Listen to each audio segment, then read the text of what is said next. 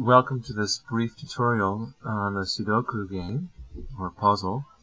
It helps with your logical thinking and deduction processes in your mind, and it's good to keep your mind alert and awake, and counting numbers and all, and so it's a, a nice way to pass time. This is going to be a very easy tutorial. Uh, this is for beginners. I assume you already know the very basic rules about Sudoku, and that is that uh, first of all, each individual square of a 3 by 3 square must have all the digits 1, 1 through 9, and they cannot repeat. Also, each row must have the digits 1 through 9, and they can't repeat in a row. And each column must have 1 through 9, and again, you can't have any repetitions. And so, I assume you already know that and I'm just going to walk through this puzzle. I have never done it before. I've never seen it before. So we're looking at it together for the first time. I'm just going to walk through how I would do this. Um, there are more difficult puzzles with fewer clues. I believe uh, 17 is the minimum number. Um, and for those puzzles, it's a little trickier because you have to add numbers not only uh, in a square where a number must be, but also where a number can be. So for instance, in this puzzle, since it's so easy, you'll find that I'll, I'll write a number, let's say in this square, just throwing out there. I would write a little number 8 here and a little number 8 here, which means the 8 must be in this square or this square. But in those more difficult puzzles, I would write something like a 2 and a 4 and a 6 can be here, a 2 and a 4 and a 6 can be here, and a 2 and a 4 and 6 can be here. So writing where a number can be is a little more difficult than writing just where the numbers must be. But for this puzzle, I don't believe we'll ever have to do those can be um, fill-ins, just the numbers where they must be. And so with those brief introductory remarks, let's start our puzzle. The first thing I notice is a lot of ones here. I, I like to start with a number where uh, the puzzle already provides me with a number. So the puzzle is providing me with a number 1 here, and a 1 here, and so I'm drawn to conclude that I must put a 1 down in this box, uh, in this column somewhere, because the 1 here prevents this square from being a 1, the 1 here prevents this square from being a 1, therefore the 1 for this square must be either here or here. But before I go writing any 1's in here, I notice that over here there's a 1, which means uh, this entire row already has its 1, right here, which means the 1 for this square must be in the middle. So I hope you follow that. So I, might, put my 1 right here, nice and big. I know that that's right. That helps me sometimes to figure out this square here needs a 1. It can't be here or here because the one I just wrote in, nor can it be on the bottom because of this 1. Therefore, the 1 for this square must be on the top, and there's only one place it can be, which is right here. So I write my 1 in here. And so you can see how you work around. Here's a 1 here. This square here needs a 1. It can't be here because of this one. It can't be here because of this one. It must be here or here. I see the 1 here prevents me from writing my 1 here. Therefore, the 1 must be right here. Now I'm sounding like that man on the movie Princess Bride. If you've seen the movie, you know what I'm talking about. And that uh, completes my, my 1's here. It checks with this one and this one. And so the only one, this square, every box now has a 1. It just so happens to work that way. Uh, let's see, another number is a 9. 9. The 9 must be on the left-hand side. You see that? this 9 here means this can't be a 9. This 9 means this can't be a 9. This square must have a 9 right down here. I write in my 9 nice and big. Which means, because this 9 is in the middle, and this 9 is in the bottom, the 9 for this square must be in the top. It can't be in this square because of that 9. It must be here or here. There's nothing above telling me that it can't be in one of these two. So I'm going to write in a little 9 here and a little 9 here, telling me that 9 must be either one of those two places. Later on, I'll cross off one of those 9s when I find out which one. Uh, let's see, knowing that the 9 must be here or here means that the 9 for this square, it can't be here or here because this one, can't be here or here because this one, it must be here or here. So I'll write in my little 9's here as well. Alright. Here's a 9. Here's a 9. Here's a 9. That's already done. Here's a 9. Here's a 9. Here's a 9. That's already done. And now the other number in the square is a 7. Like I said, I start with the numbers that they provide me with and go on. Here's a 7, here's a 7, there's a 7, already done. 7, 7, 7's done, 7. Alright, this one needs a 7. It can't be in the middle. The bottom's already done. It must be in the top. But this 7 here means it can't be in the middle. It must be the left or right. So we do a 7 here small, and the 7 here small. Since it's on the top, well, that one's already done. It can't be in the middle. On this square, it must be the bottom. But this 7 here prevents this from being a 7, so the 7 must be here or here. Alright? Since it's in the middle, this can't be a 7. 7 must be here or here. And this 7 doesn't tell us anything. This 7 here tells us the 7 can't be here. It must be in the bottom here. And if the 7 is in the bottom, this 7 here means it can't be here. But it can be here or here. So we'll put 7 must be here or here. And since the 7 here is on the bottom, watch this now. The 7 here is on the bottom. I don't know if it's this one or this one, but I do know it's on the bottom. Which means this square cannot be a 7. Because these two whichever one it is, is going to cancel it out, which means the 7 must be in the top. But we already determined the 7 can't be in the top middle because this one, therefore this has to be a 7. Which means that this one cannot be the 7. Which means this has to be the 7. Alright? So that's how that works. Another way of figuring out puzzles like this is to figure out a row that's missing only a few numbers. Like this row here is only missing a number here and a number here.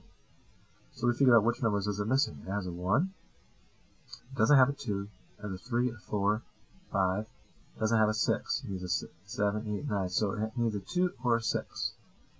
The 2 and the 6 have to be either here or here. Can, we, can a 2 or 6 be here? Yes. Can a 2 or 6 be here? Yes. Nothing telling us. So I'm going to write 2 and a 6. A 2 and a 6. There's another one that's missing only two digits, this row here. I've got a 1. I need a 2. 3, 4, 5, 6, 7, and an 8. Is that a 9? So what do we say? A 2 and an 8? So 2 and 8 has to be here or here. I see this 8 here tells me this cannot be the 8, therefore this has to be the 2. Which means this has to be the 8.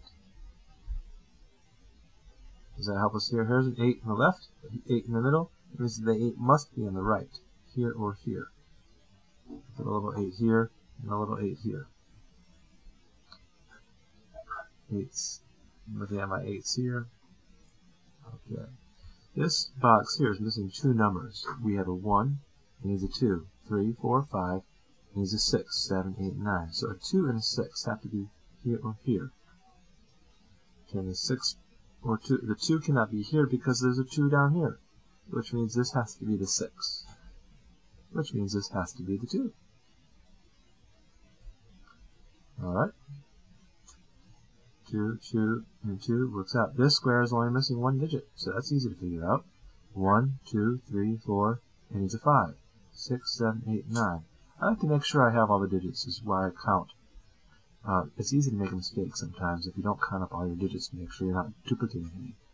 So we said we needed a 4. This has to be, no, what did we say? It has a 4. It needs a 1, 2, 3, 4, and 5. So we're going to write 5 right in there. Which means this can't be a 5.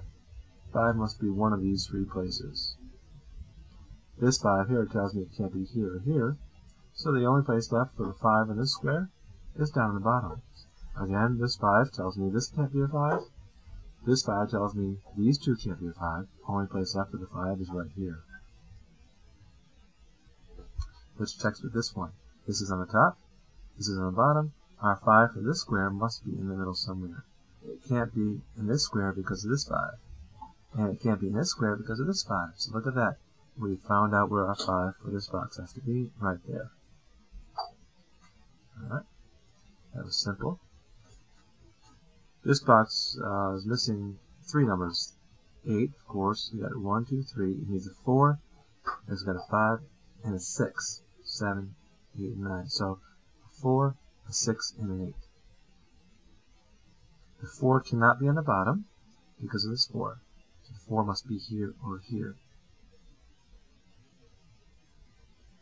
The 6 could be here, cannot be here, or here. This 6 tells me neither of these can be the 6, therefore this has to be the 6. And remember we said that this 4 means this can't be a 4, which means this must be the 4. Which means this is left to be that 8. We're trying to figure out. I'll cross off those 8s to avoid any confusion. So there's a box done, there's a box done, there's a box done, three whole columns done.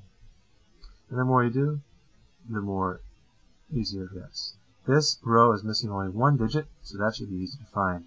It has a 1, 2, 3, 4, 5, 7, 8, 9. It needs a 6. This must be the 6. And that matches with this in the middle, this on the bottom. Our 6 for this square must be in the top. Here, here, or here. Nothing up here telling me that where he's going to be, but I'll write a little 6 here, little 6 here, and a little 6 here. This box is missing one digit, and so we do the easy part. 1, 2, 3, 4, 5, 6, 7, it needs an 8. And a 9, this must be the 8. So these cannot be 8. 8 must be here or here. Oh, it can't be here because of this 8. Therefore, this must be the 8. The difficult puzzles are not this easy, obviously. And that matches with this 8 here on the right, this 8 here in the middle, this 8 on the left of these three columns. Uh, this square here is missing two numbers, the 2 and the 6. Because we have 1, we need the 2. 3, 4, 5, 6, 7, 8, 9. 2 and 6. The 2 cannot be here because I see this 2 is over here on this row. Therefore, this must be the 6. Therefore, this must be the 2. This box here is missing two numbers. It has a 1, it has a 2. Oh, we figured that out. This can't be the 2. It needs a 6 and a 3. There's a 4, 5, 6, 7, 8, 9. 6 and a 3. And we said that this this can't be the 6, obviously, because of the 6. This has to be the 6. And we already wrote in where the 6 has to be. So which leaves us this square to be the 3. So 3's can't be here or here. 3's must be here. 3's can't be, this already has a 3. 3 must be on the left. And it can't be in this square because of this 3. So the only other left-hand square is right here. 3 right there. Alright? So we cross off the 7 because that can't be the 7. Because the 3 is taking that square. Which means the 7, this is why it's important to put where the possibilities, not the possibilities, but where the numbers must be must be 7 right here. Crossing those 7 off. So we finished our 7, which means this cannot be the 7. Cross that off. And so that means this has to be the 7, because that was the only other place the 7 could have been. Which means this is set 7, which means that can't be a 6. So one of these two places has to be a 6 or a 9. And we're also missing a 2, I believe two, three, four, five, six, six, seven, eight, nine, nine. So two. Two cannot be here because of this two. The two could be here or here.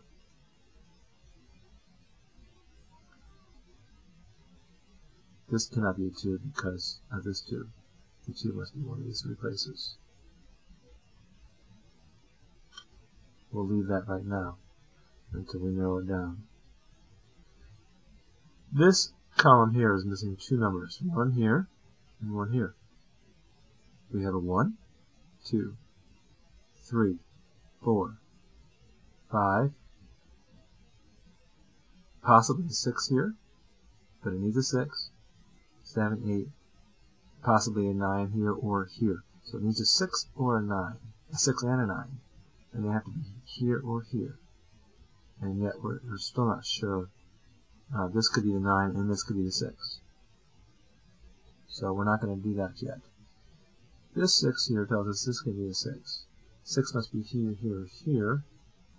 This has a 6. This has a 6. 6 must be here or here. So I'm going to write in a little 6 right here.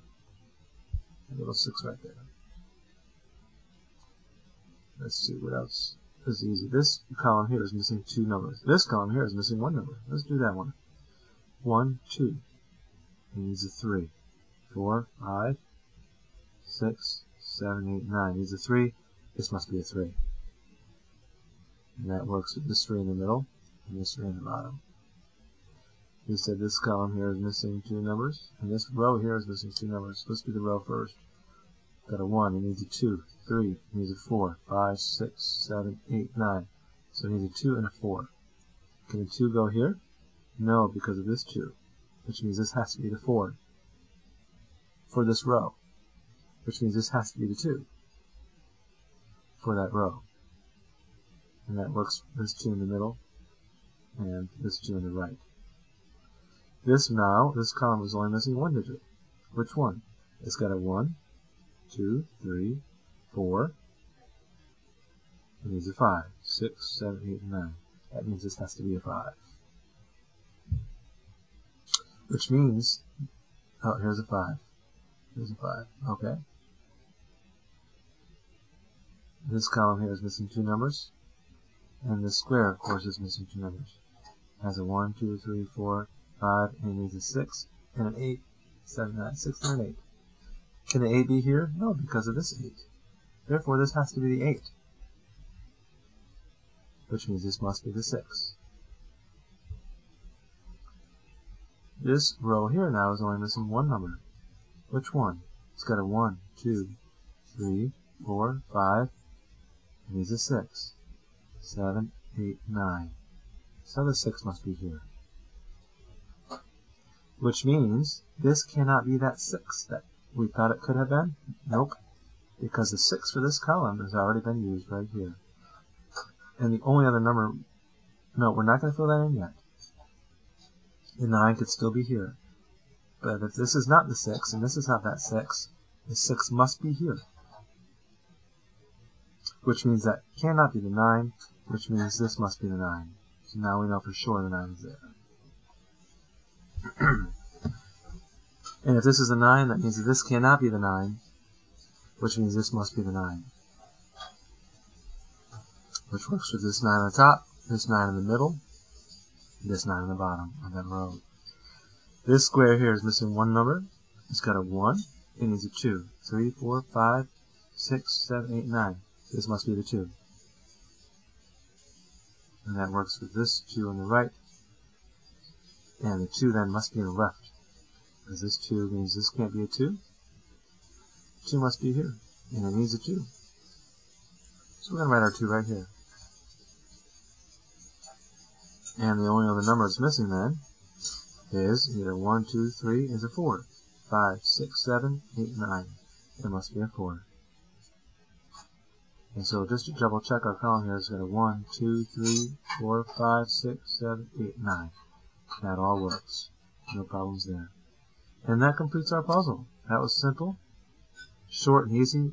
Like I said, it's a basic puzzle that can be more difficult, but I hope that you've had fun. And thank you for watching.